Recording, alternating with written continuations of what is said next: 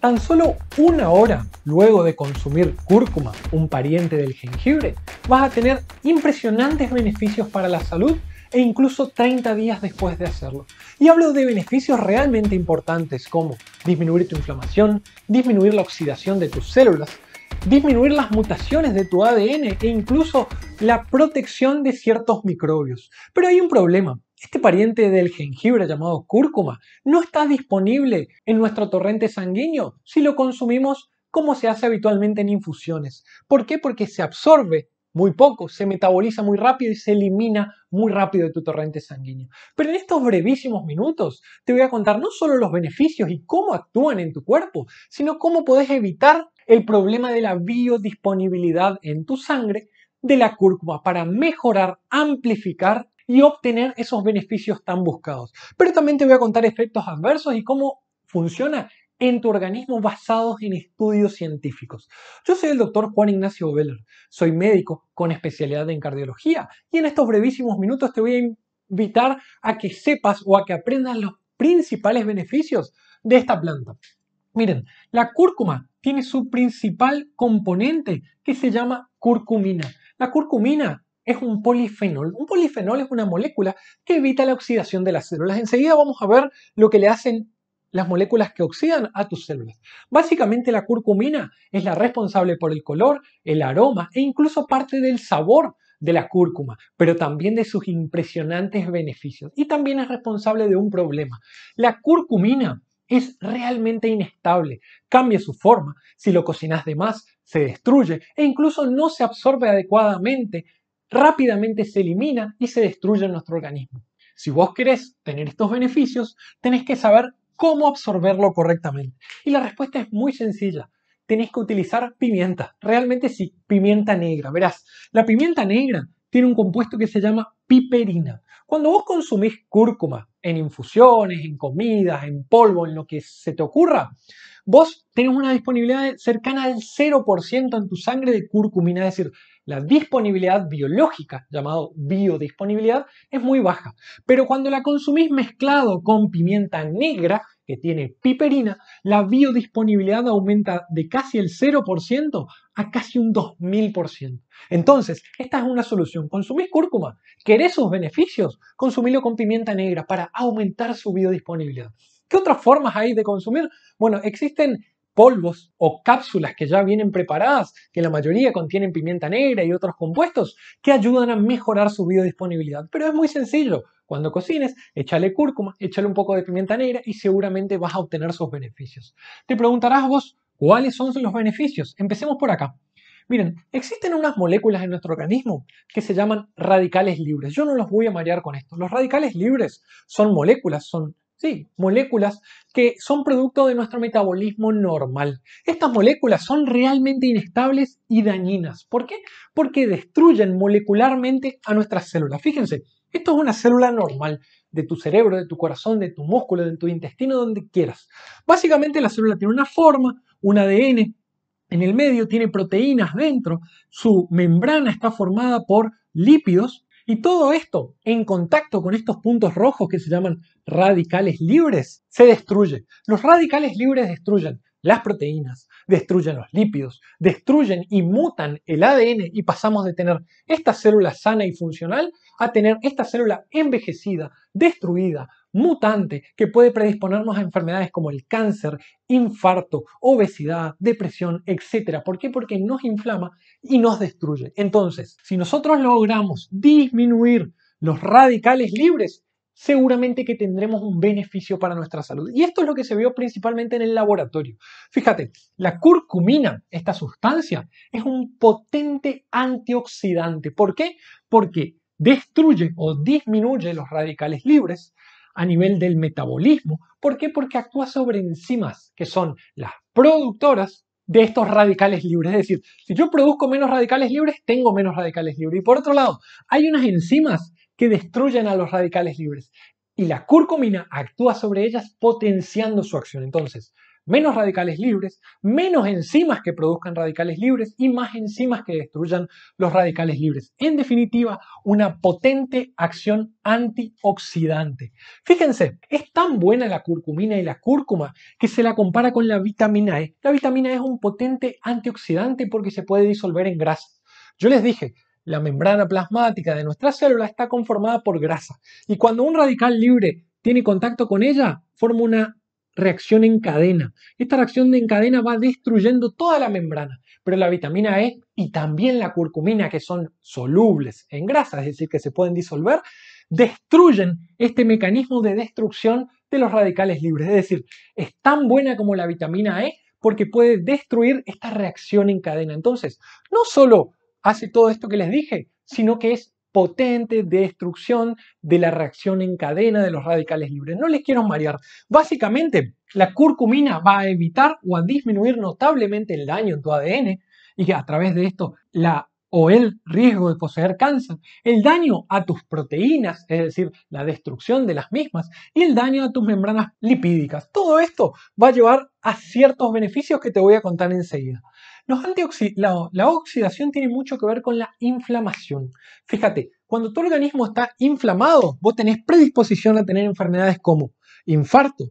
Si vos sos alérgico al polen, si sos asmático o lo que fuera, estás inflamado. Si vos tenés colitis, estás inflamado. Si tenés artritis, estás inflamado. Los obesos están inflamados. Los pacientes que tienen depresión están inflamados. Y aquellos con Parkinson también, por nombrarte solo algunos de las cientos de enfermedades productos de la inflamación.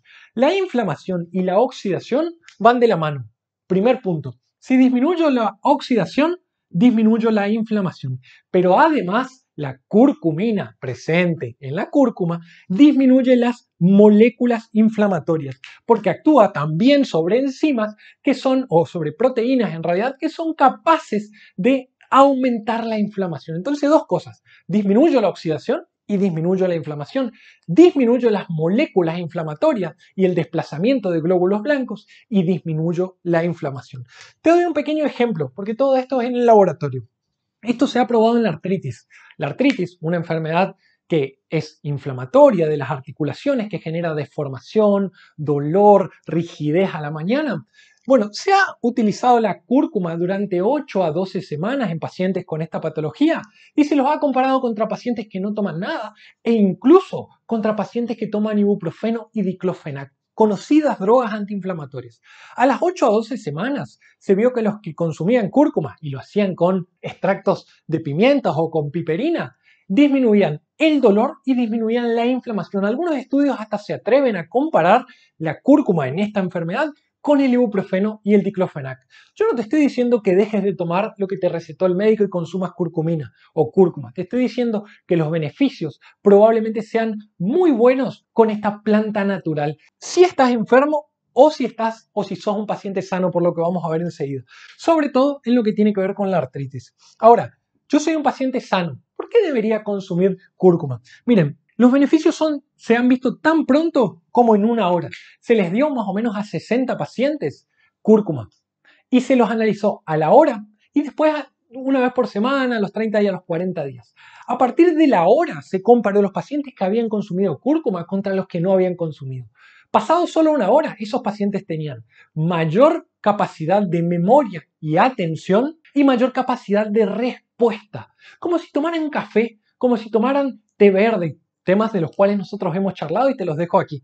A los 30 días se vio que estos pacientes mejoraban la memoria para las actividades, también el estado de ánimo e incluso disminuían su fatiga, es decir, el cansancio producido por actividades diarias. Por ejemplo, otro estudio que se hizo en pacientes sanos, no tan sanos en realidad porque eran obesos, tomaron a muchos pacientes obesos y le dieron cúrcuma y a otros le dieron placebo, es decir, una sustancia inerte que no producía nada.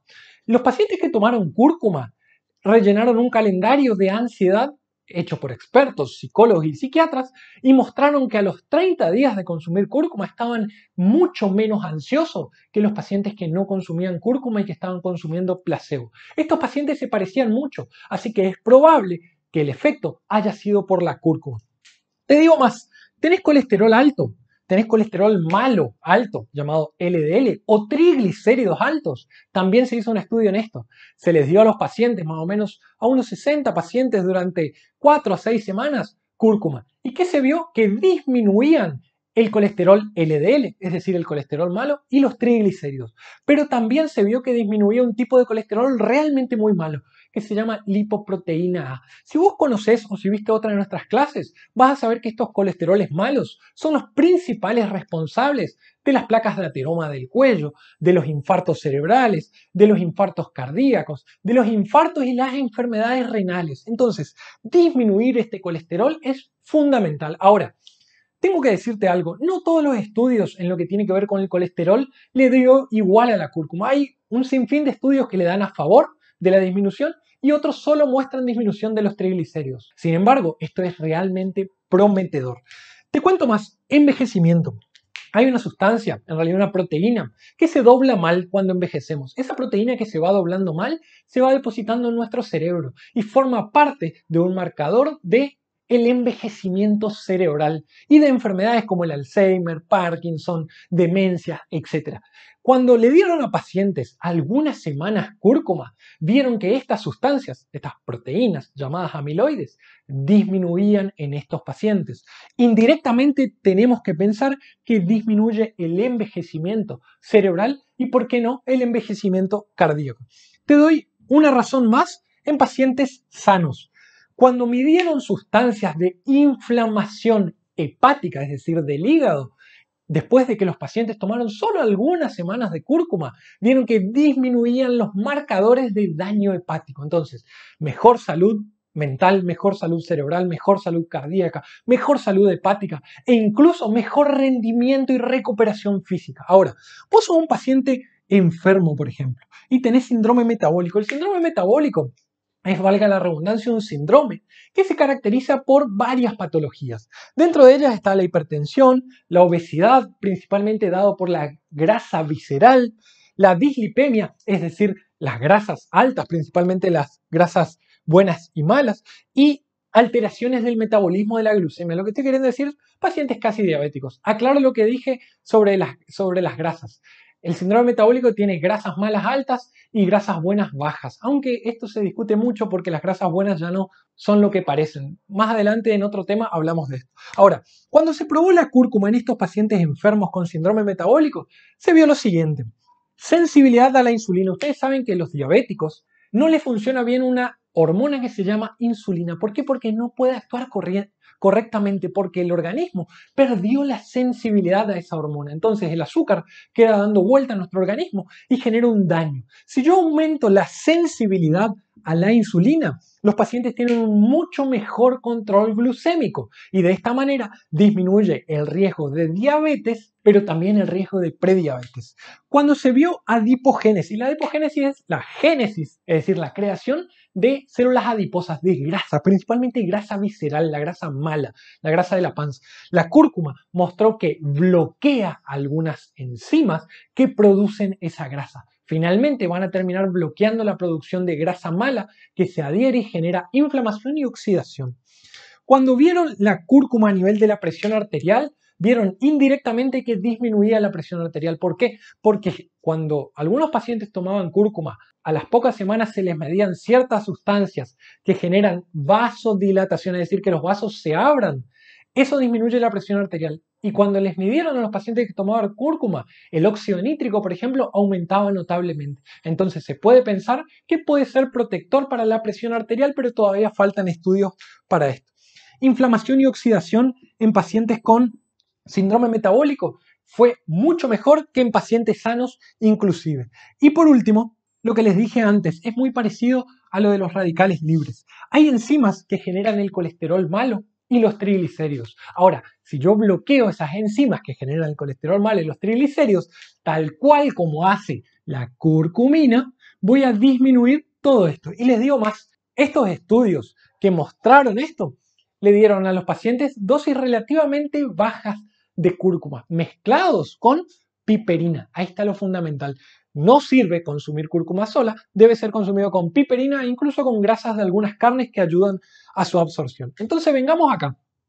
¿Cuánta cúrcuma debo consumir? Bueno, los, el Comité de Expertos de Naciones Unidas, la OMS, la FDA, dicen que entre 50 y 200 miligramos de cúrcuma sería seguro todos los días. Ahora, los estudios que se hicieron para probar el beneficio de la cúrcuma utilizaron dosis muchísimo más altas, de entre 500 gramos a, de entre 500, perdón, miligramos a 2 gramos. Y ustedes me preguntarán, pero si todos esos eh, organismos dicen que la dosis segura es mucho más baja. Bueno, hay evidencia que muestra que dosis altísimas, hablo de hasta 8 gramos e incluso 12 gramos, resultarían seguros con el uso de cúrcuma. Mientras más consumas, más cerca de los efectos adversos que te voy a contar enseguida están disponibles. Lo que quiero decir es, ¿cuánto consumo? Si vos querés tener todos estos beneficios, debes ocupar dosis similares a las utilizadas en los estudios. Hablo de 500 miligramos a 2 gramos aproximadamente y recordar de consumirlo con pimienta negra o en formulaciones especiales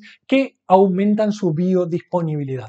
¿Dónde puedo encontrar a la cúrcuma? Excelente pregunta. La cúrcuma se puede encontrar en polvo, la cúrcuma se puede encontrar en cápsula mezclada con piperina, la cúrcuma se puede encontrar en forma del tallo eh, seco, deshidratado, se lo puede hacer en infusiones, se lo puede ocupar en polvo en las comidas, se puede encontrar en mostazas e incluso en el famoso curry, un condimento realmente riquísimo para preparar un pollo al curry. Ahora, hay ciertos secretos que debes saber. Si vos calentás la cúrcuma o la curcumina por más de 10 a 15 minutos, se rompe y pierde su efecto. Si vos no la mezclas con pimienta, no la podés absorber correctamente. Entonces, ya sabes dónde encontrarla, ya sabes cómo suplementarte, pero te recomiendo siempre antes de empezar una suplementación con cualquier cosa que le preguntes a tu médico de cabecera y a tu nutricionista de cabecera. No te recomiendo jamás que empieces ninguna medicación, por más natural que sea, sin consultar porque cada paciente es único y sobre todo por los cuidados y los efectos adversos. Dentro de los efectos adversos que se empezaron a ver más o menos con unos 3 gramos de cúrcuma, están la diarrea, las náuseas, la indigestión, los vómitos, erupciones cutáneas, por ejemplo. Entonces, consumí poca cúrcuma, siempre recomendado por tu médico, y tenés ciertos cuidados cuando estás embarazada, estás lactando o utilizás anticoagulantes. Espero que esta charla sobre cúrcuma te haya sido realmente útil. Déjanos tu comentario. Recordá que siempre hacemos videos relacionados a su comentario. Te mando un gran abrazo desde nuestro lugar del mundo. Chao, chao.